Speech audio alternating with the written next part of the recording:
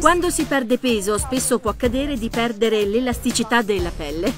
Fare semplicemente dell'esercizio fisico non restituirà tonicità alla pelle.